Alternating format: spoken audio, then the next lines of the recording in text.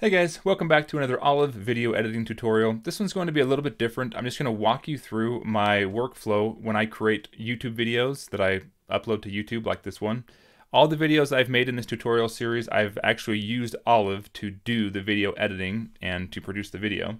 So I'm just going to show you my workflow and the steps I do. Um, not, not really a ton to it, but uh, it's adding in my intro screen, my outro screen, and the actual screen recording. So here we're seeing just all the video screen recordings I, I do. They're by date. It takes me a lot of time sometimes to get the video done correctly. We'll select this one right here. This is the one that, uh, the screencast that I did. And then I always put in, you've probably seen, I just right click and go to import. I have my intro screen and my outro screen on my videos. So my intro screen is right here and my outro screen is this blue kind of background. So we've got the outro and this is just a 60 FPS video that I've made that's like, um, I don't know exactly how long it is. It's like three or four seconds long. And this is my intro one that just plays. This is also a 60 FPS just a video that plays my logo kind of jumping out of the screen.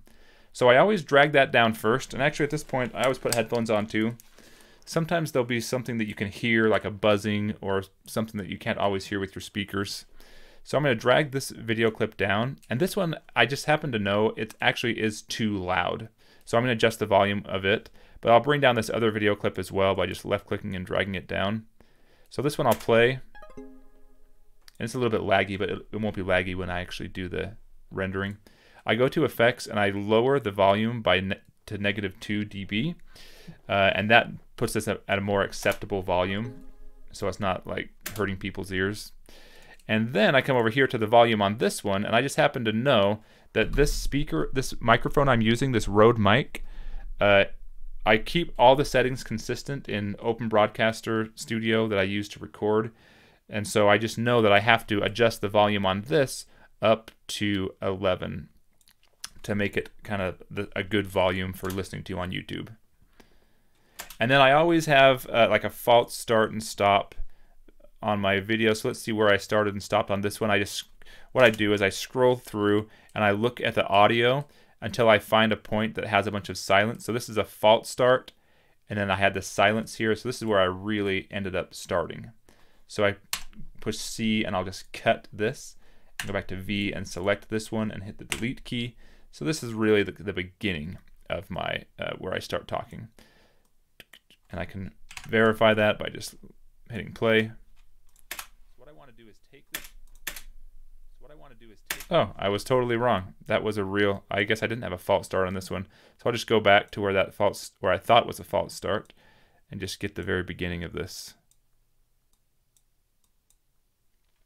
We'll be learning about keyframe. So, welcome back to another Olive. Perfect. So there's that. And then also, what I have. Welcome back to another Olive video editing tutorial. you see my voice, my, my mouth is a little bit off with the sound. And again, I've kind of had to fine tune this. I can fix it in Open Broadcaster Studio, but I just haven't done it yet. So what I do to correct it is I just right click, I go to link, unlink, and I grab this video and I put it forward about that far. I just know how far it needs to be. And now when I play, it my, my mouth is more in sync. And so that gets my audio more in sync. And now I have to come with my razor tool and I have to cut this and I choose this one and delete it. And then I have to relink the clips. So I'll select this one, hold down shift, relink, uh, hit this one, right click and go to link, unlink. That puts an underline under each of them. And now they're linked. So now if I move one, the other one moves with it. All right, so now my volume is nice too. So that volume effect I did by raising this to 11 dB, if I were to do a cut right now, both clips have that applied, which is another reason that I do it at the very beginning and not afterwards. Otherwise, I have to go and adjust the volume on every clip every time I have a cut. Sometimes I do a cut because I mess up in the middle of a video or I have to pause and speed up the video for like a download or something. All right, but this one, I don't think I had anything like that. So I'm gonna scroll to the very end and we see it's a little bit off there, but that's okay. We'll find the very end of this. And now I'll cut right there and delete this. Maybe I'll even sh shrink that in a little bit. And then I'll grab my end screen, left click, and bring it down. My end screen has audio, an audio track, but it's just silence, so I don't need to worry about that. So this will cut over to this, and that's the end. Maybe that was too much. Too quick.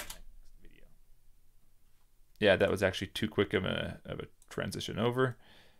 So we do this. Perfect, that'll work. Uh, then I just render it out. So if the whole thing looks good, I'll, I'll usually take and listen through the whole thing actually, but this looks pretty good. So what I'll do is I go to File, and I go to Export, and then I change the quality to 18. Um, I've been leaving everything else the same. There's actually a better there's better formats I could do, but for Olive, um, I've just been leaving everything exactly how it is, and I am only changing this. I'm keeping it 1920 by 1080, 60 frames per second, and I hit export, and then I choose what I want to call it. So I go to this ready for upload, and this one is I think uh, 18. Yeah, this is probably Olive 18.